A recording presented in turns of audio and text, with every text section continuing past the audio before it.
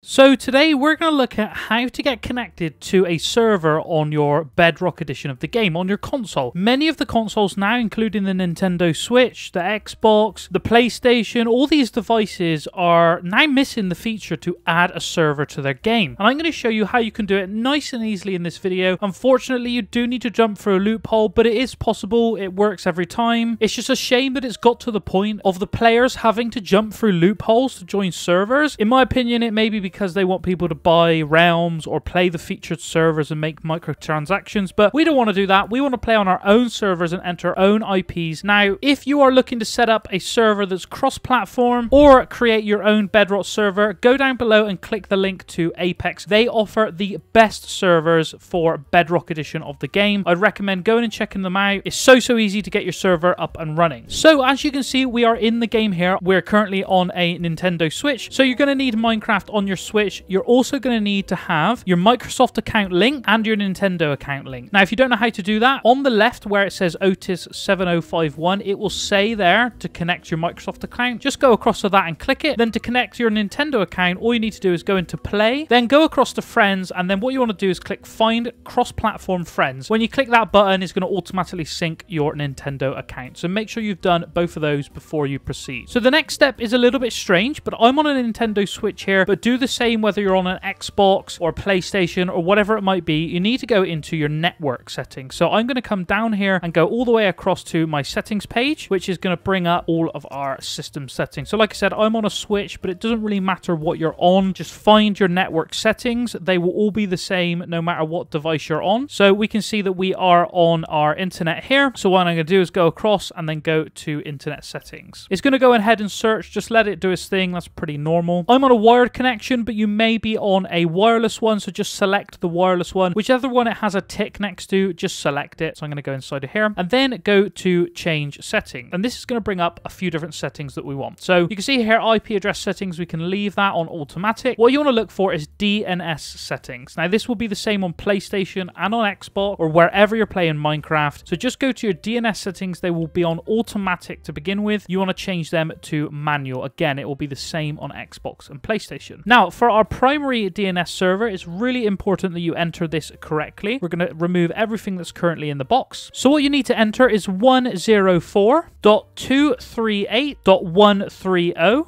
180 and that's the address that you need to enter to successfully proceed to the next step with this guide. So we finished entering our IP address here. We're going to then click the plus on a Nintendo Switch. Again, it would be different for you. You're then going to need to enter a secondary DNS. Now this can be anything you like. I'm going to use Google's DNS for this. You guys can use the same, but make sure you do this on the secondary DNS and not the primary DNS. So Google's DNS servers, I'd recommend just following along, is 8.8.8.8. Simple as that, guys. And there we go. We've got the Google DNS server entered, so we're going to just hit OK. Now, the Nintendo Switch is going to put a load of zeros in front of it. I don't know why it does that. It shouldn't, but it's fine. It doesn't matter. So that's what you should have. In your primary DNS, you should have that IP address, and secondary DNS should be, it can be whatever you like, but I recommend Google's, which is 8.8.8.8. Okay, and then we're going to go ahead and save, which is going to save our settings, and head back to our home screen. So on my Switch, I currently have Minecraft open. Same goes for PlayStation and Xbox or whatever you're playing on, just make sure you close the game before you proceed any further. So we're going to completely close out of the game and then we're going to launch it back up, select our user and head into the game. So once you're in the game, you'll see there on the left the sign in with a Microsoft account. Make sure you do that if you haven't done it already. If you have, it just takes a moment to come up. So once you've done that, you're then going to click play and you're going to come across to the featured servers which are already going to be on your device. Now from the Switch, it may be a little different from you. You will see that the message under the server list now, so under each server server. It says join to open server list. That's exactly what we're looking for. If you don't see it, that's okay. i recommend trying to connect to the Hive. That one is the one I've had the best luck with. That being said, today I can actually see that message underneath the Hive, so I'm going to pick one of the ones that does have it. If you guys can't see where it says join to open server list, just try it on the Hive, and if that doesn't work, try it on another. So I'm going to go ahead and join. I did try this initially, and I didn't get the message pop up, which I'll show you in a second. So if it doesn't work, go ahead and try another another server as it will work. It's a guaranteed work, guys. This works across all devices, so just try a different server. I understand you're probably thinking, why are we connecting to this server? This makes no sense. Don't worry, it will all make sense in just a moment. Just like that, it's now come up with a server list, which is exactly what we want. From here, you can go in and go connect to a server, manage server list, or exit server list. When you go into connect a server, this is going to allow you to input a new IP address. I recommend always adding the server to the server list as well when you're done. I'm going to go back as I already already have a server on my server list, this one here, and I'm going to go ahead and connect to it. So this is actually a cross-platform Minecraft server. This is working on Java, Bedrock, all of the editions of Bedrock, and it's set up and working through Apex. So I'd recommend checking them out and getting your Minecraft server from them today. So I'll just show you that it's working. I'm going to load in here, connecting to the server. It will take a moment to join your world, but once you are in, it should work flawlessly. Okay, guys, and just like that, we are now in in our Minecraft world. So like I said, this is actually an Apex server plugin called Geyser, which allows you to actually play cross-platform. So this is actually a Java server, and that's how you join servers on your Bedrock edition of the game.